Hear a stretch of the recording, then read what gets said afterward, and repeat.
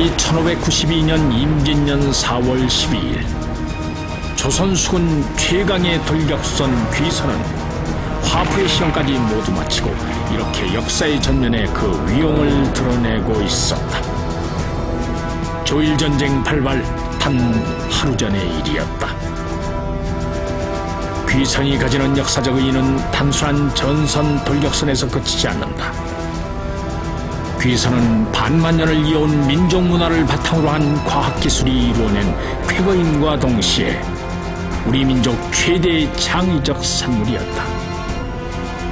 23전 23성 불패의 신화를 이어갔던 이순신과 그의 군사들. 귀선은 그 신화의 가장 큰 버팀목 중의 하나로 자리하게 된다.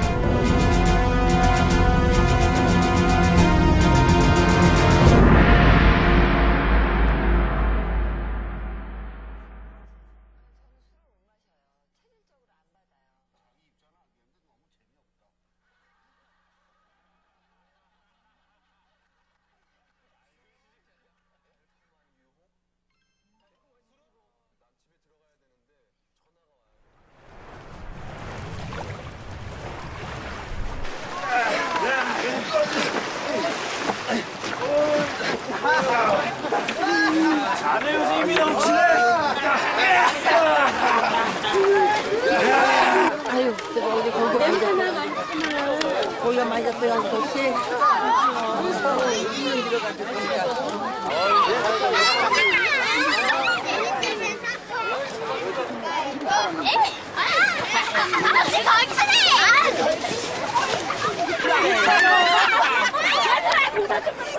아저씨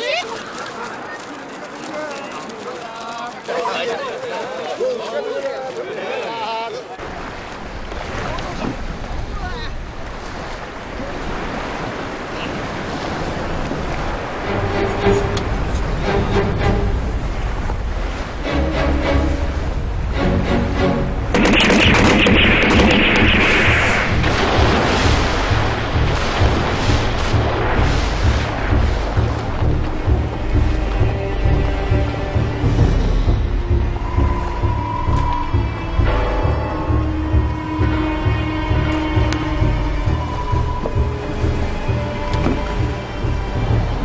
기가 조선인가?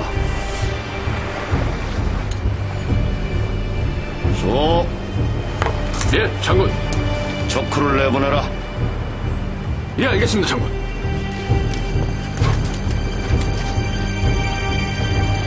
드디어 전쟁인가?